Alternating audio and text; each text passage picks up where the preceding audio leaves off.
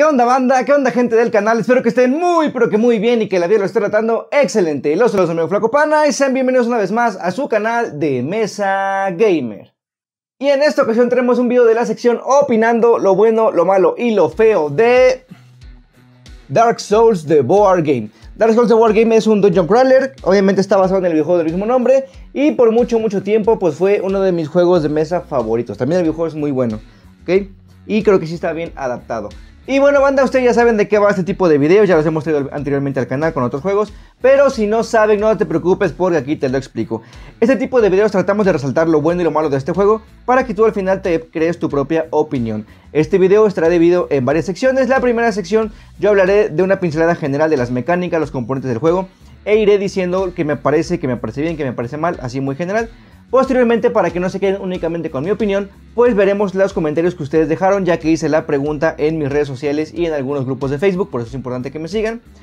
Después de que leer sus comentarios de, lo que opinan de este juego, pues yo pasaré a decir lo que a mi parecer es lo bueno, lo malo de este juego. Y al final diremos si se queda en la ludoteca o no se queda en la ludoteca este juego de Dark Souls de Board Game. Así que bueno, explicando de qué trata este video, pues comenzamos con la opinión de general de este juego. Y bien, comenzaremos por decir que Dark Souls es un dungeon crawler basado en el videojuego del mismo nombre, es de mazmorreo, es de 1 a 4 jugadores con partidas que duran un chingo, grande porque tenemos que estar repitiendo muchas veces. Bien, en este juego lo que tratamos es, estamos en nuestro bonfire, bueno, digamos que nuestra base principal, y tenemos que ir avanzando por varias losetas, derrotando a los enemigos, que tendrán su carta de comportamiento, ahorita vemos. Iremos derrotando a los enemigos. Estos enemigos nos darán eh, diferentes eh, almas que iremos recolectando, que son los tokens que tenemos eh, por aquí. Nos darán diferentes tipos de almas. Y con estas almas que se van aquí a la, pues como la reserva de almas, podemos ir comprando equipamiento nuevo para nuestro personaje. Y bueno, una vez que hayamos avanzado por las diferentes losetas matando enemigos, pues nos tocará enfrentarnos al jefe final en una casilla, en una roseta especial también de jefe. Y aquí es donde este juego brilla más en las batallas contra los jefes. ¿Por qué? Porque los jefes y mini jefes tendrán su, eh, su mazo de comportamiento que nos irá diciendo qué ataques nos irán a hacer, hacia dónde se van a mover. Y es ahí donde eh, pues podemos hacer una estrategia porque la secuencia de ataque no cambia, siempre van a ser los mismos. Después de este sigue este, sigue este, sigue este.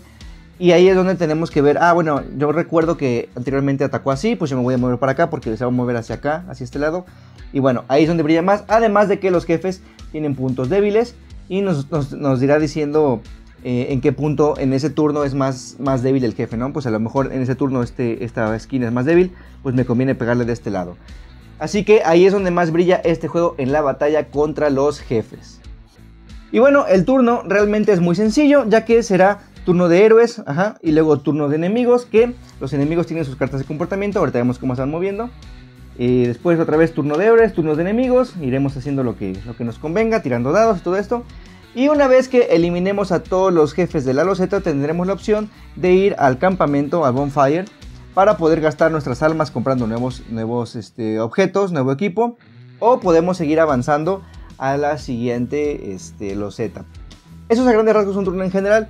Pero en nuestro turno, pues nosotros podemos atacar dependiendo de los atributos que tenga nuestro personaje.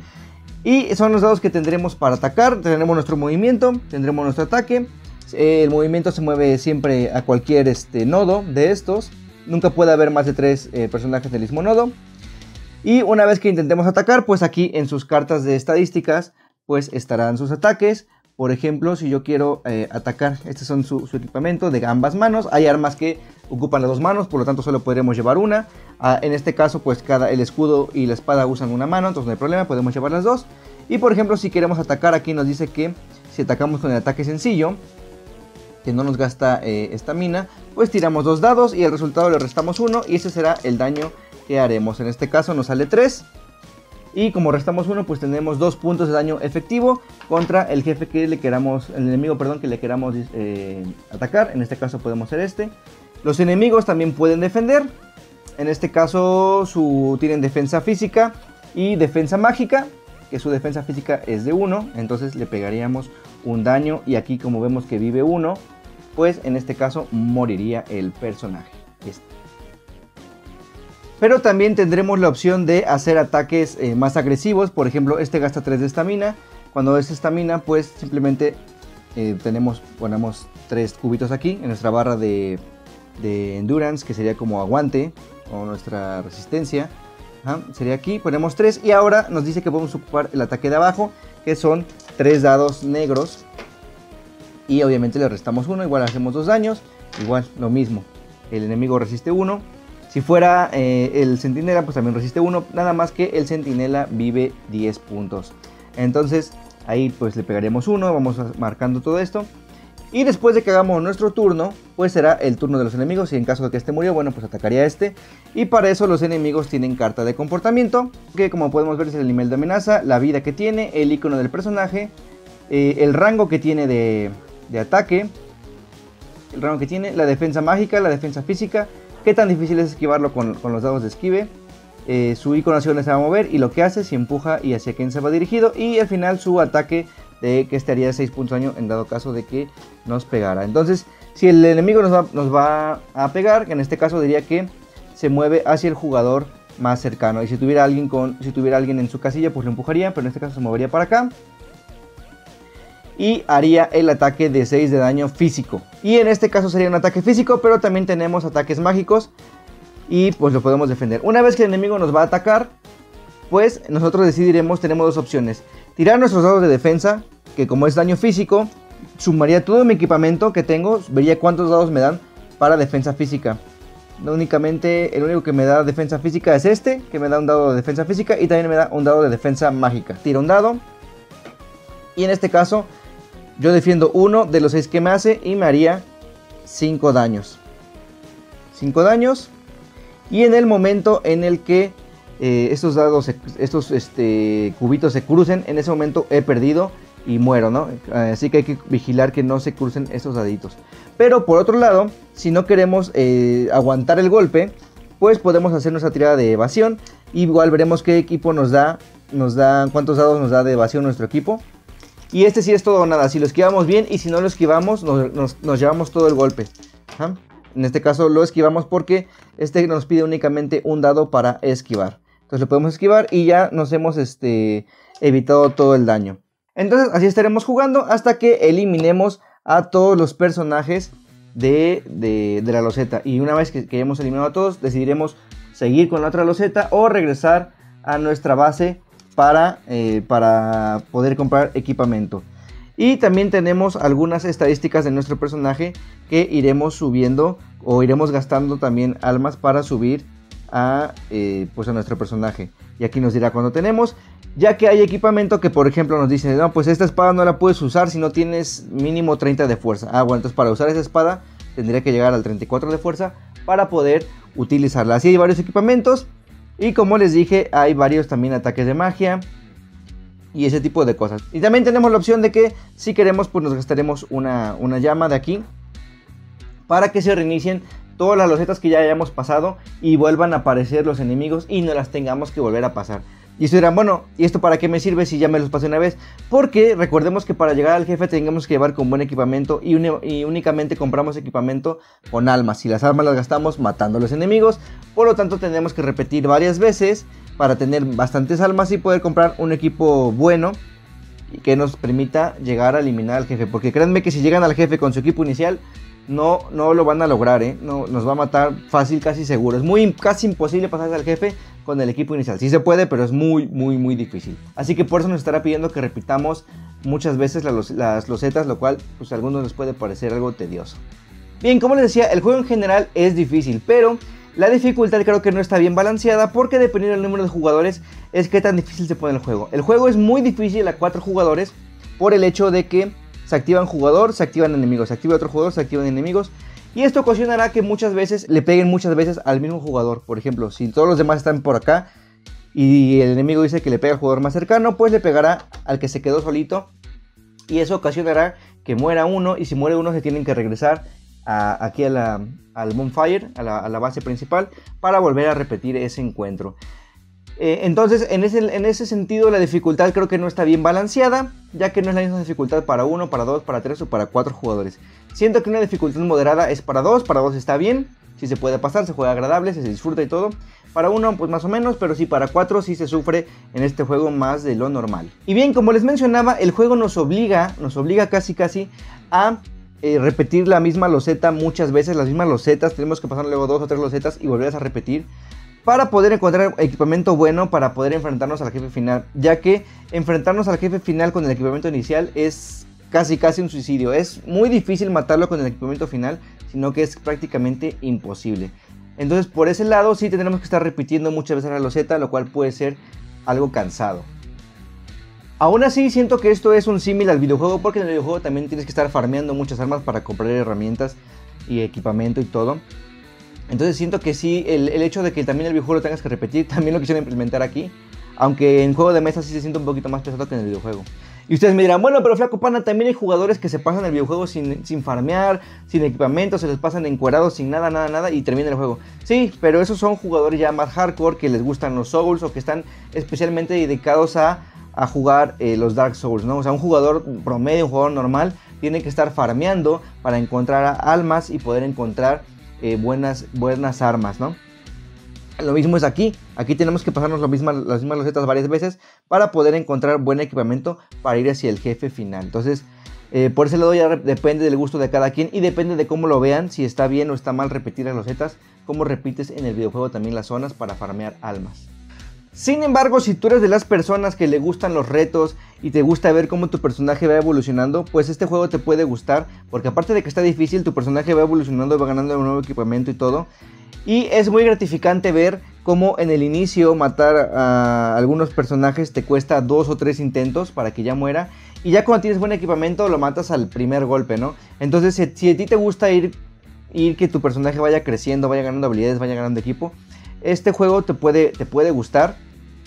Y si no te importa lo repetitivo que puede llegar a ser, pues este juego es para ti. Y sobre todo es muy gratificante si alguna vez llegas a, a llegar todo hasta acá y ya tienes todo el equipamiento acá bien, bien poderoso, pues está bien. También clave mencionar que hay varios tipos de personaje, de héroes, y cada héroe trae sus distintos stats, como en el videojuego que te puedes eh, armar tu personaje a diferentes eh, eh, habilidades o a diferente enfoque, ¿no? Puede ser muy ágil, puedes especializarte en piromancia, en hechizos, en, en, ¿cómo se llama? En milagros o en fuerza, igual aquí, ¿no? Cada, cada clase tiene sus stats distintos y pues ahí tú lo vas subiendo dependiendo de lo que, de lo que más te convenga. Y lo último que les puedo decir del juego es que las miniaturas realmente, realmente es lo que más vi del juego, las miniaturas. Las miniaturas son bastante, bastante buenas, tienen mucho detalle, los jefes son increíbles, se parecen muchísimo a los videojuegos. Eh, está bastante bien en cuanto a componentes, eso sí está bastante bien, trae, trae bastantes minis, trae varios mini jefes y jefes, pero trae dos, dos este, jefes y creo que dos mini jefes, si no mal recuerdo. Y bueno, así es a grandes rasgos, esto es lo que yo les puedo decir eh, generalmente de lo que trata este juego. Pero ya saben que para que no se queden únicamente con mi opinión, veremos lo que ustedes opinaron en las redes sociales de este juego. Y bueno, comenzamos con sus opiniones. Y Aldo Outsider nos dice, lo malo que se vuelve repetitivo. Bueno, yo les había pedido que nos dieran algo bueno y algo malo, pero bueno, él únicamente puso lo malo y dice que se vuelve repetitivo, ¿ok? Fernando Rivera de Enfadado nos dice, lo bueno es que tú lo tienes, lo malo es que no lo sacas. Bueno, pues hay que armar una partita para que veas de qué trata este juego y nos puedes dar una opinión más completa de si te gusta o no te gusta. Por otro lado, Ben Malvez nos dice, no le veo nada de malo, quizás la dificultad extrema al empezar, que si aún no vas medianamente armado algunas veces, dependiendo del personaje, te las ves muy canutas para avanzar. Es lo que les decía, el juego está difícil y es importante, como dice Bel que eh, tengamos buen equipamiento para que se nos vaya haciendo un poquito más fácil avanzar hacia el jefe. Y nos pone también otro comentario Bel que nos dice, los mímicos y los invasores dan mucho por culo y joden la partida. Mejor ni usarlos, sobre todo los mímicos. O sea, los mímicos vienen en la expansión, pero es otro rollo. Eh, aquí solo estamos hablando del juego base. Bueno, esos son los comentarios de Bellman's Bells. Memo García Barradas nos dice, lo bueno es que es Dark Souls, lo malo es que no has invitado a jugar. Pues Memo hay que armar una partida con Fer para que puedan probar este juego. Por otro lado, Guillermo GC nos dice, lo bueno, la calidad de las minis y las batallas contra los jefes finales son geniales, es lo que les comentaba. Eh, lo malo, el sistema de juego es sumamente tedioso y solamente se trata de farmear y farmear hasta que llegas al jefe final. La caja base no ofrece mucha rejugabilidad. Eso es cierto también, la caja base eh, sí se queda un poquito corta en cuanto tipo de enemigos y más que tenemos que estar repitiendo mucho, pues sí puede ser un poquito cansado, pero las expansiones sí les dan, sí les da bastante vida a este juego, sí lo refrescan, pero este video solo es del juego base, así que bueno, las expansiones aparte. Narciso Orgullo de Punto Geek nos dice, saludos muy bien flaquitos, saludos Narciso, espero que estés muy bien. Y nos dice, para mí lo bueno es la producción que tiene el juego y lo impresionante que se ve en mesa, además de un gran arte y calidad de minis. Las expansiones de los monstruos le dan mucho más juego del que puede tener. Me gusta su modo de cartas en el que implementan sus combates con IA. Es lo que le decía que cada jefe tiene su, su mazo de comportamiento y tiene muy buena producción del juego. Lo malo, su precio sí era algo excesivo para lo que contenía además del idioma. Lo feo, la calidad de las cajas de sus expansiones y que ocupa una mesa con buen espacio. Bueno, como les decía, esa es la opinión de Narciso Argüello y sí, eh, sí depende un poquito de las expansiones para darle un poquito más de rejugabilidad a este juego. Y por último, el comentario de Leonardo Trejo Fonseca nos dice, a mí me gusta mucho jugarlo, lo bueno, está bien adaptado al videojuego eso sí es cierto. Y lo malo, como en el videojuego tienes que farmear mucho para poder enfrentarte siquiera a un mini boss. Es muy disfrutable con las expansiones. Bueno, esto es lo que ustedes comentaron respecto al juego. Y como podemos ver, la mayoría coincide en que el juego sí es muy repetitivo que tienes que farmear mucho y que por otro lado las expansiones sí le dan mucha nueva vida a este juego. Pero bueno, esos fueron los comentarios de ustedes. Ahora sí, pasaremos a mi opinión de lo que yo creo que es lo bueno, lo malo y lo feo del juego de mesa de Dark Souls. Empezaremos con lo bueno.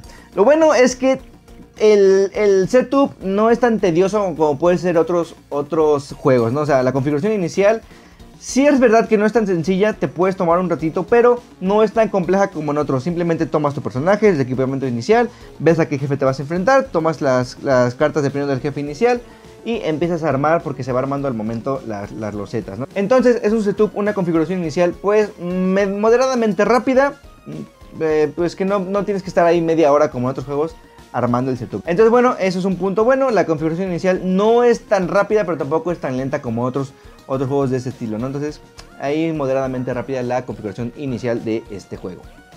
Otro punto bueno, como ya lo mencionaron, es los componentes del juego. La verdad es que el cartón está bastante grueso, está bien. La calidad de las cartas es muy buena. Y sobre todo la calidad de producción de las minis es bastante, bastante buena. De hecho, hasta la fecha creo que siguen siendo de las mejores minis. A pesar de que, eh, que es un juego eh, pues que ya tiene sus añitos. De hecho, en su momento eh, yo llegué a creer que estas eran las minis de lujo, de super wow. Ya obviamente en estos tiempos ya hay otros, otro tipo de miniaturas mejores. Sin embargo, para, el, tiempo que tiene este juego, las minis siguen siendo súper, súper buenas.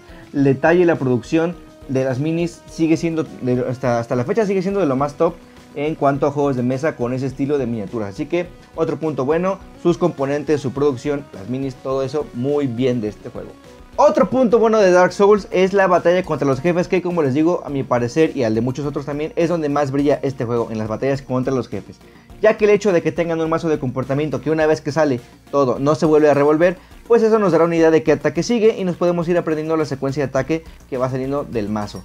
Eso nos permite pues planear una estrategia de cómo posicionarnos mejor, ya que el hecho también de que tenga puntos débiles, que haga más daño cuando pegamos, pues nos hará una mejor estrategia que nos tengamos que poner de acuerdo con nuestros demás personajes. Si es que estamos jugando a más jugadores, pues nos podemos eh, poner de acuerdo para decirle todos, viene el punto débil de este lado. Ah, porque el punto débil va cambiando de acuerdo a la carta que vaya haciendo el momento. Entonces nos posicionaremos y le pegaremos en el punto débil. Podemos eh, también si vemos que el próximo ataque solo va a ser de frente, bueno pues nos podemos posicionar en la parte de atrás para que el ataque no nos pegue. Entonces de ese momento las peleas se vuelven un poquito más estratégicas, ver por dónde le vamos a estar pegando al jefe, tratando de evitar sus ataques. Y en el peor de los casos, pues tratar de, eh, si no podemos evitarlo, pues tratar de, ponernos en un lado donde nos pegue menos, ¿no? O de defendernos, ¿no? Por eso es importante llegar con buen equipamiento, porque los golpes de estos jefes son brutales, ajá. Entonces, bueno, ese es un punto bueno. La batalla contra los jefes realmente supieron darle un buen giro de tuerca para eh, que se sienta distinto a otros Dungeon Crawler. Entonces, batalla contra los jefes, punto bueno. Otro punto bueno, o que yo considero bueno para este juego, es que los enemigos tengan cartas de comportamiento, ya que dependiendo de cómo salgan sus comportamientos, podemos posicionarnos de una mejor manera. Eh, es menos estrategia que los jefes, sin embargo, es bueno ver qué personaje tiene menos vida, algo así, para poder eh, pues, matar primero a los que nos causen más daño y así poder hacer una mejor estrategia contra los enemigos. Este juego realmente sí es estratégico, tienes que estar viendo cómo se posicionan, a qué enemigo matar primero, cuáles conviene matar después y así. para que no vayan perdiendo tan rápido. Entonces si eres de los que les gusta pensar estrategias, este juego es para ti porque los enemigos sí son un poquito estratégicos y los jefes ni se diga es donde más se nota la estrategia. Aún así, si eres de los que les gusta aventarse a los golpes sin pensar, también lo puedes hacer, aunque quizás no tengas un muy buen resultado. Pero también te puedes ir a los golpes y si ya tienes un equipamiento bastante fuerte, pues tú te avientas al que sea, al que tengas más cerquita, lo matas y ya está, ¿no?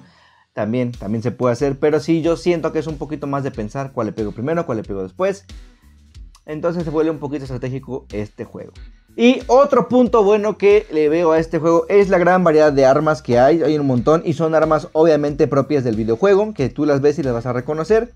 Y también es bueno el hecho de que haya dos ataques, el, tanto el mágico como el físico, ya que algunos jefes son enemigos, bueno en este caso no, pero hay algunos enemigos que tienen mucha defensa mágica o mucha defensa física, entonces tienes que pegarles por el otro lado, porque tal vez a, lo mejor físicamente no los vas a poder tirar, bueno pues le pegas con magia, o al revés tienen mucha defensa mágica, pero físico no tienen nada, entonces le pegas por el lado físico. Entonces también eso es bueno, el hecho de que tengan defensa mágica y defensa física, esto también le da un poquito más de sabor al juego.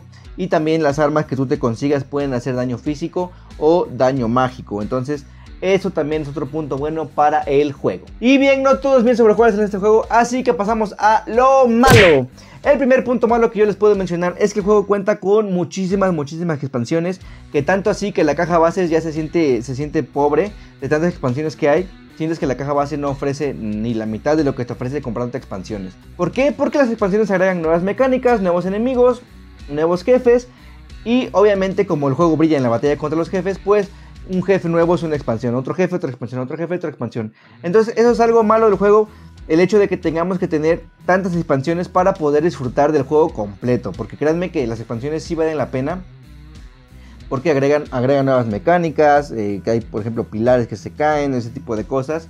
Eh, es, un punto malo que no vayan eh, agregado un poquito más de, opciones en la caja base y que dependa tanto de las expansiones para poder tener la experiencia completa de este juego. Otro punto malo que yo le veo al juego es su sistema de mercado, ya que no tienes cartas abiertas para ver cuál comprar, sino que simplemente vas comprando la que te va saliendo de hasta arriba, ¿no? Entonces vas comprando, vas comprando, vas comprando y muchas veces te van a salir cartas que no le sean eh, buenas a tu personaje o que de plano no tengas las, características para poder usar esa arma que acaba de salir, que puede ser muy poderosa, pero como no tiene los stats indicados, pues no. Entonces tal vez te combine una menos poderosa, pero que sí puedas usar para seguir avanzando. Entonces ese tipo de mercado para mí no está bien pensado, estuvo muy mal. O sea, esto de estar comprando la primera, pues sí está feito, ¿no? Porque te tienes que gastar todas tus almas y luego no todas las cartas te van a servir bien. Entonces ese es un punto malo, ya que obviamente tenemos que encontrar equipo bueno para ir a la batalla contra el jefe final. Otro punto malo ligado al punto anterior es que nos obliga a estar repitiendo las mismas eh, los zetas, las mismas habitaciones una y otra vez para poder encontrar el equipo adecuado para ir a enfrentarnos al jefe final. Y esto puede ser frustrante para algunos, en mi caso no, a mí me gusta estar repartiendo golpes y si los mato pues otra vez los vuelvo a matar, en mi caso no, pero admito que esto sí puede ser muy frustrante o muy repetitivo para algunos jugadores. Entonces si no eres de los que te gusta estar eh, leveleando, subiendo de nivel o eh, repitiendo algunas, algunas habitaciones, pues créanme que este juego no es para ti. Y por último, eh, otro punto malo es que el libro de reglas eh, pues puede ser un poco confuso. Yo lo tuve que leer varias veces para poder entenderlo. Creo que en las ediciones posteriores ya lo arreglaron un poquito, no estoy seguro, creo que sí fue. Pero bueno, a mí me tocó el manual de la primera, de la primera edición. Entonces, eh, bueno, el primer tiraje, del primer tiraje. Y el ahí, el manual venía un poquito confuso, tiene sus facts, bueno, por eso salieron, salieron facts del juego.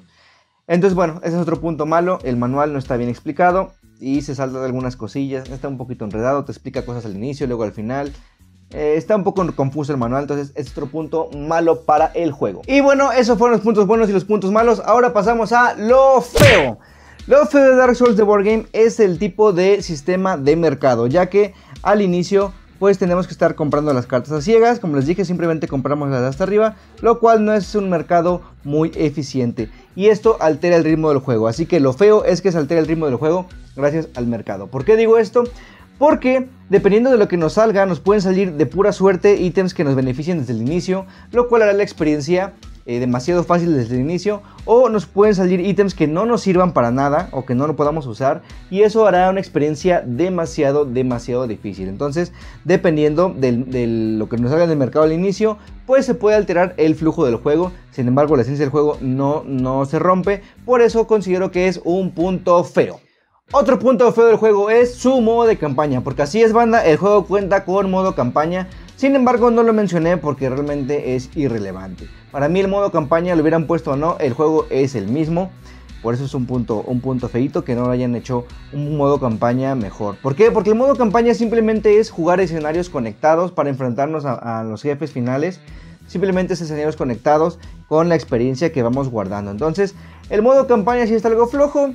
No podemos jugar individualmente normal, sin problemas. Si de por sí jugar un escenario normal a un jefe es algo tardado, pues el modo campaña es todavía más. Y obviamente si nos da las opciones de cómo ir guardando nuestro progreso y todo eso. Pero eh, sí está el modo campaña algo, algo flojo, ¿no? Entonces, si es algo feo que no hayan metido más ganas al modo campaña, simplemente es un pegote ahí de, ah, pues juega este escenario, este, este y este, los conectas y ya está, pum, tu modo campaña. Pero como no afecta la esencia del juego, pues por eso es algo feo del juego el modo campaña. Otro punto feo que yo le veo al juego es que tenga que depender de reglas caseras para que te dé una mejor experiencia o el juego brille más o lo pueda disfrutar mejor eh, algunos jugadores. Es decir, algunos jugadores le meten reglas caseras y dicen que les gusta mucho más así, les, les hace mejor y que el juego cambia bastante eh, en cuanto a lo que ofrece o cómo se siente el juego. ¿A qué reglas caseras me refiero? Bueno, he visto que algunos juegan con un mercado abierto de unas 4 o 5 cartas y conforme a las que te salgan pues tú verás cuál te conviene comprar y ya no estás comprando a la primera carta del mercado. Otra regla casera que he visto por ahí, por ejemplo, es que ya inicies con un pool de, de, almas, de unas 10, 15 almas, dependiendo de qué tan difícil lo quieras, que ya inicies con algún pool de almas para que puedas empezar a comprar por el mismo problema que te ofrece el mercado. otra regla casera que, he visto es que ajustes las recompensas de almas que te dan los enemigos. Por ejemplo, puede ser que eh, dependiendo la dificultad de, cada loseta, pues que sea las almas que te da el enemigo, que por ejemplo puede ser una, más la dificultad que tengas en la loseta, por ejemplo una más una de la dificultad 1, 2 de la dificultad 3 y 3 de la dificultad 3 eh, o algo así, ¿no? O sea, que tú modifiques un poquito que, cuántas almas te de recompensa dependiendo la dificultad de cada loseta. Entonces, eso también lo veo un poquito bien. Entonces, bueno, como son reglas caseras, pues es un punto feo que este juego tenga que depender de reglas caseras para que algunos jugadores lo sientan más disfrutable o sientan una mejor experiencia de este juego. Y bien, esa es mi opinión final de lo que yo creo es lo bueno, lo malo y lo feo del juego de mesa de Dark Souls. Si estás de acuerdo conmigo, pues te agradecería que lo pongas en los comentarios. Si no estás de acuerdo, piensas que el juego es una porquería o piensas que el juego es una maravilla, de igual te invito a que en los comentarios también nos dejes tus puntos de vista y así hará que este video se enriquezca más con las opiniones de ustedes. Pero bueno, ya como último punto final para que se acabe el video, pues nos queda ver si Dark Souls se queda o no en la ludoteca. Así que Tambores, por favor, para saber si se queda o no se queda en la ludoteca. Y si Dark Souls se queda en la ludoteca, o al menos en la ludoteca sí se queda, porque es un juego que yo en su momento disfruté mucho. Pero ¿en qué posición de la ludoteca se queda? Bueno, esto es curioso porque si este, este video lo hubiera hecho eh, unos años atrás, uno o dos años atrás, cuando disfrutaba muchísimo de este juego, lo hubiera puesto en los estantes centrales, en el central donde están a la mano los que más juegas. Sin embargo, como ya he probado más juegos y ya no es mi top 1, pues sí se queda en la ludoteca, pero en los estantes de arriba o de abajo, en, el segundito, está en el medio, bueno, pues el de arriba o el de abajo, donde están los juegos que sí salen a mesa o que sí te gustan, pero no tanto como los de en medio. Entonces, para mí sí se quedan en la ludoteca, pero en los estantes de arriba o de abajo. Entonces, bueno, este fue el videito, espero que les haya gustado. Ya saben que si quieren que le haga una opinión a algún juego que ustedes quieran, de lo bueno, lo malo y lo feo, puedes dejar en los comentarios así de Flaco Pana, quiero por favor que hagas una opinando de lo bueno, y lo feo de este juego. Y ya saben cómo quedó estructurado, esta es la mecánica que yo sigo en este tipo de videos. Así que pues nada banda, si te gustó el video por favor ayúdenme compartiéndolo, dándole un like, activando la campanita y compartiendo sobre todo en todas las redes sociales que conozcas para que nos ayudes a seguir creciendo como canal y podamos seguir trayendo contenido de este estilo. Así que pues nada banda, yo me despido, soy Flaco Pana del canal de Mesa Gamer y pues muchas gracias por el video, un saludo como siempre y adiós.